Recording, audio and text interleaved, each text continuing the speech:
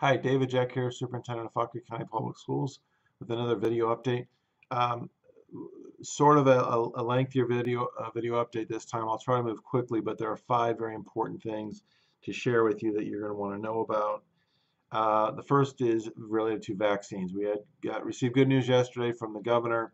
Teachers uh, are now considered 1B. So uh, the the um, vaccines that have been, been, made available thus far have been for 1A folks only, and that's been mostly uh, folks who work in the medical field, etc. Now we're moving on to 1B. Teachers are going to be considered 1B, uh, which is good news. And we don't have an official timeline yet as far as when the vaccines will be made available. Uh, what we do know, though, is uh, that the timeline's been moved up a little bit, but I've still heard anything from three weeks from now to the end of February. So we really don't know when they'll be made available exactly, but I can tell you once they're once they're available, we will be ready. Uh, we will work with local health officials to provide information to staff about where the vaccinations will be available, when you can get them, etc. We'll work very closely with VDH uh, to to figure that out and provide that information to you. And what the other piece we don't know is uh, will they be required of staff? Uh, also, we don't know who the state exactly is considering teachers, whether that's teachers only, teachers and instructional assistants, teachers and custodians, teachers, custodians, and administrators. We don't have that information yet, but once we do have it, we will let you know. Uh, very preliminary budget update, just very quickly, because um, I've not made my budget proposal to the school board yet, but I did want to mention that um, during the last uh, uh, joint meeting of the County Finance Committee and the School Board Finance Committee, uh, we were notified to anticipate flat funding locally, uh, meaning that next year, uh, as of right now, as things stand right now, we would receive the same amount of funding ne next year that we received this year. Uh, couple that with a, a um, sort of a minimal decrease in federal funding, which federal funding makes up a very small percentage of our budget anyway, but there is a little bit of a reduction at the federal end. And then the state budget, as it stands right now, there is a hold harmless component in the, Fed, the state budget next year for enrollment, but it, it's not a complete hold harmless. In other words, it doesn't, uh, it's they're not, as it stands now, providing funding for every single student uh, that we we've uh, lost as a result of COVID. So we have to wait and see. It's very, very early, but I did want to let you know at least those two pieces of information uh, as we move forward. More information to come on January 25th.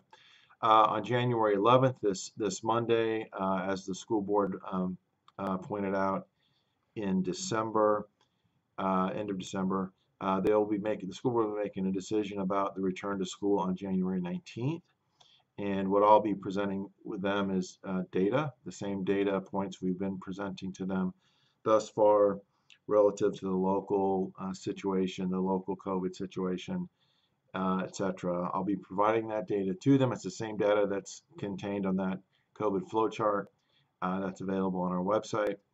Uh, and uh, the, the school board will, will then discuss and make a decision about a hybrid return to school on 19 on the 19th on January 19th and as you probably have already heard the school board did um, approve the uh, start of the athletic season beginning yesterday.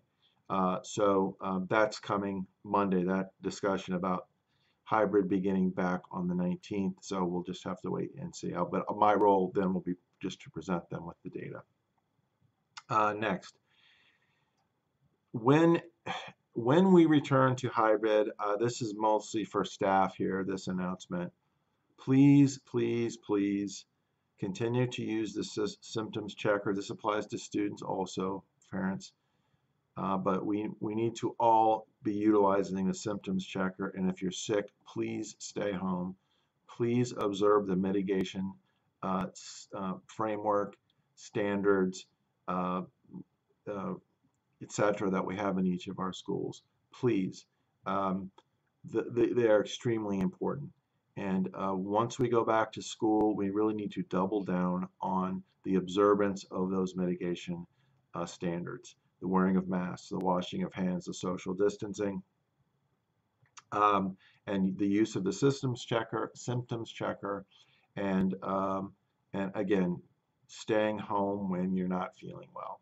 Uh, it's it's extremely important. Those things are going to become even more important uh, moving into second semester because we want the kids back in school, and we want our teachers back in the classrooms, but we want to make sure we're, make sure we're doing it in a very safe way.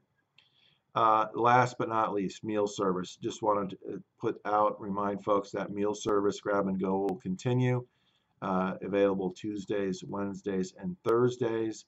You can find more information about the availability of meals and the schedule on the food service link on our website. Uh, you can go there, and I believe it's under the parent information uh, button, uh, um, um, drop down schedule. Um, more information there about times, etc. But I, I, believe we're following the same schedule that we have been following. This is just a reminder that we're going to be continuing. All right. Um, that's it. That's a lot of stuff. If you have questions, please feel free to contact us or visit our website. Uh, but this is the information that I know thus far. And most of this information, by the way, is contained on our website. And uh, so feel free to navigate through that. And, uh, and uh, if you have questions, please reach out to us. So everyone stay safe and take care.